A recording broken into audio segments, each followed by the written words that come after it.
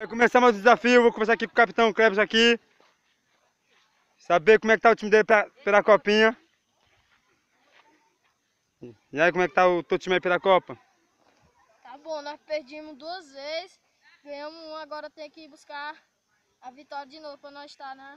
Na briga. É. E você acha que dá pra ganhar do time, pegar um time que tá com quatro pontos na tabela?